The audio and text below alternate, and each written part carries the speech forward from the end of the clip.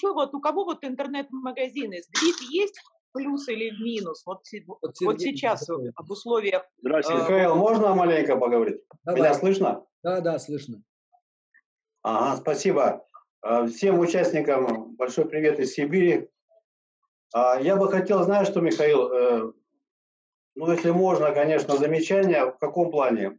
Тезисы, которые а, ты изложил, они все правильные, да, но как бы вектор, э, вектор вот, как бы размышления идет в сторону создания какого-то ну, как бы клуба, э, какой-то клубный такой клубная модель.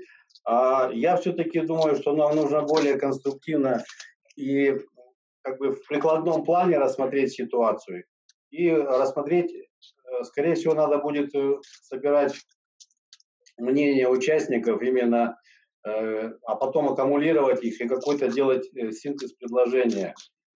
Э, меня слышно нормально? Да, слышно нормально. Сергей, работа ведется. Создана инициативная группа. Я, Нет, раз... я еще не закончил, Михаил, извините, пожалуйста. Да, без проблем. Я думаю, что перспективно, да, вот не случайно вопрос был задан по интернет-магазину. А, вот эта цепочка от производителя до потребителя конечного, ее, безусловно, надо сжимать. На сегодняшний день те, кто розница начинает работать э, по оптовым ценам, либо опт открывает свою розницу, э, за всем за этим стоит единственное, ну, сократить вот эту цепочку, укоротить ее. Потому что в чистом виде оптовой компании им очень тяжело выживать, так же, как и чистой розницы. Потому что вот этот, э, нету этой запаса в марже уже. Поэтому, мне кажется, надо попробовать монетизировать то, что у нас есть вот такая организация, такое объединение, которое вы создали за эти годы. Монетизация должна пройти, ну, например, создаем э, онлайн-площадку торговую да, по э, образцу Яндекс, Яндекс Маркет.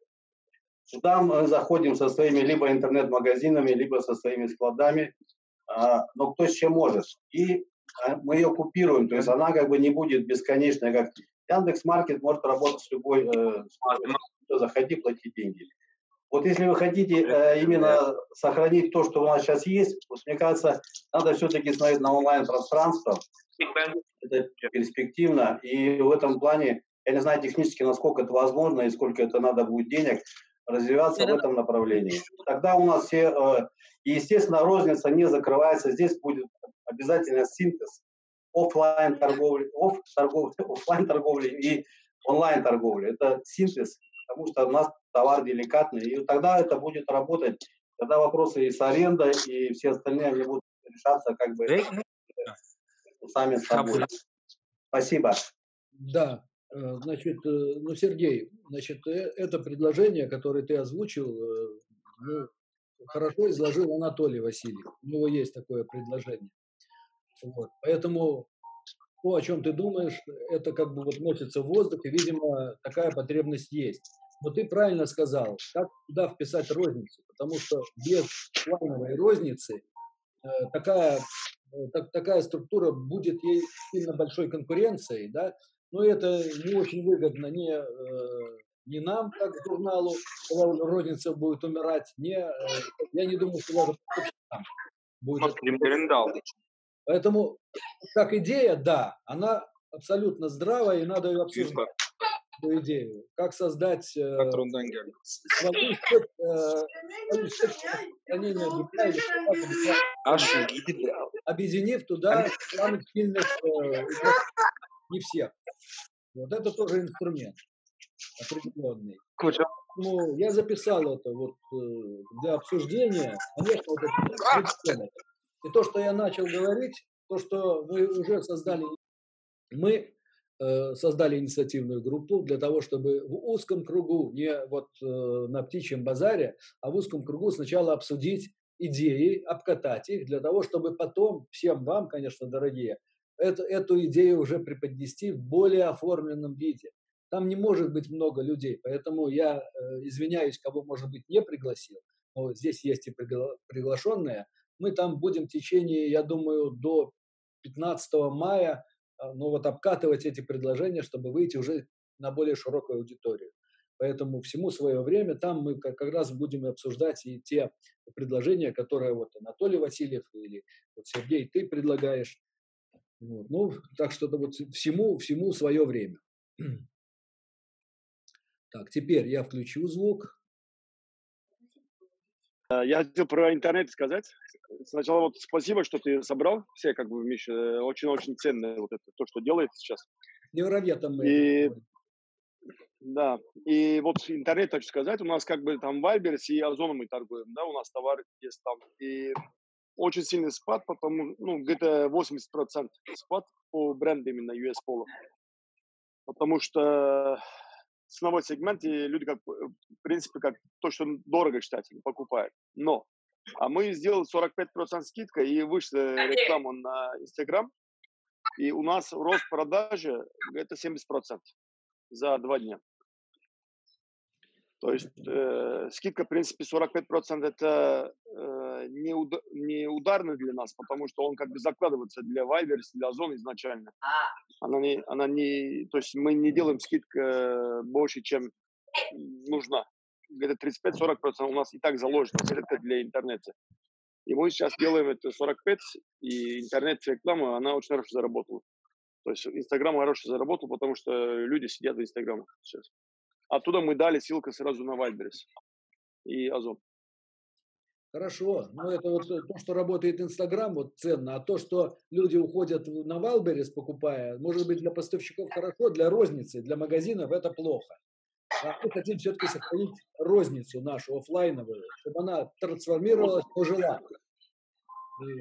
Поэтому они должны уходить сейчас... не на Вальберес, а на нас должны уходить. Вот и да. Я согласен, только я согласен, только это э, агрегатор э, уже другой уровень, то есть это догонять пока сложно будет. Значит, э, я по поводу торгу, торгового центра еще хочу сказать. Э, у меня то есть некая информация, я нахожусь в общем вот э, последние две недели в основном крупные торговые центры, они начали как бы отказаться то есть, ну, они отказываются, как бы аренда не, не принимать. Они начали писать письмо о том, что там типа, приносится 2-3 месяца на следующий э, год, потом э, будет оплачиваться, начиная с 2020 не оплачено, будет 50% вкладываться на сверху.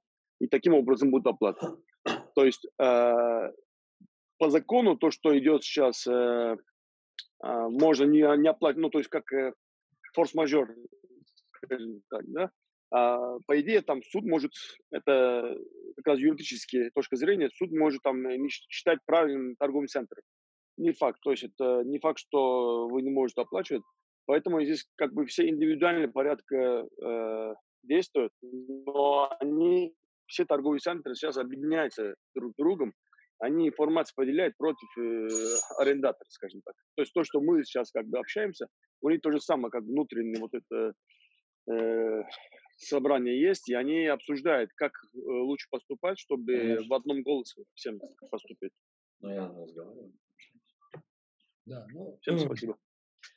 Значит, э, смотрите, кто-то мне присылал ссылку, вот вы говорили на агрегатор, агрегатор Валберис и так далее, у нас свой агрегатор. Кто-то присылал ссылку на Додо Пицца.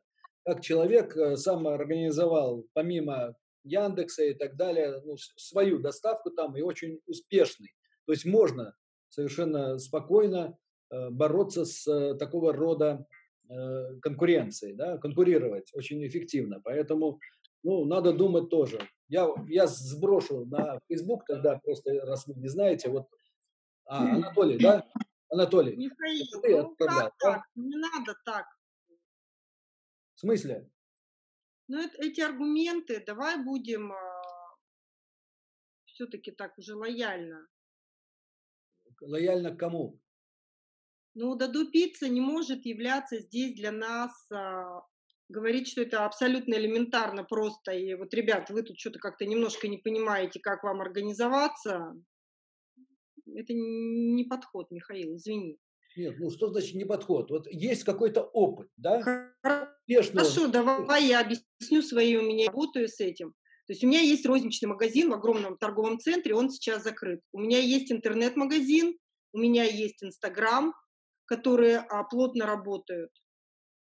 И а, все это работает. Смотри, а в Инстаграме есть определенные цены. То есть человек уже объяснил, да, 45% заложено там. Мы, допустим, даже давайте представим, что мы договорились, что мы не платим аренду, да, и мы можем сделать скидку.